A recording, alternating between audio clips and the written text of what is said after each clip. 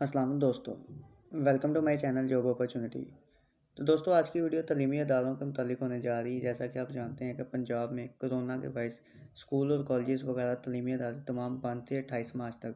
लेकिन आज जो लेटेस्ट इनकी प्रेस कॉन्फ्रेंस हुई है, जो कि चौबीस मार्च को हुई है, उसमें शफर महमूद साहब ने जो लेटेस्ट अपना बयान जारी किया है, वो आज की वीडियो में आपके साथ शेयर करूँगा।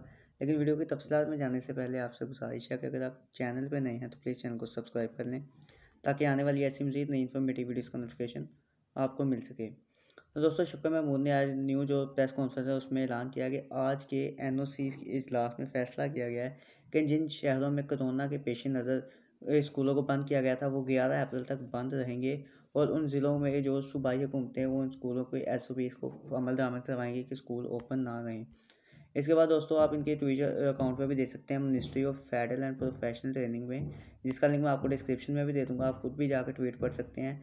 इसमें दोस्तों लेटेस्ट ट्वीट आया है जिसमें लिखा गया कि all educational institution will remain close till eleven April यानी ये ग्यारह अप्रैल तक जो स्कूल और कॉलेज यूनिवर्सिटी हैं, तमाम चीज़ें बंद रहेंगी पंजाब के ग्यारह अजला में। और ग्यारह अप्रैल तक ये चीज़ें जो तलीमी अदारे हैं वो बंद रहेंगे। और जो पेपर्स हैं उनके बारे में भी जो डिफरेंट डिटेल्स आएँगी वो भी मैं अपने चैनल पर शेयर कर दूँगा। तो आपसे गुजारिश है कि अगर आप चैनल पर नए हैं तो प्लीज़ चैनल को सब्सक्राइब कर लें, ताकि आने वाली ऐसी मज़ीद नई इन्फॉर्मेटिव वीडियोज़ का नोटिफिकेशन आपको मिल सके। शुक्रिया।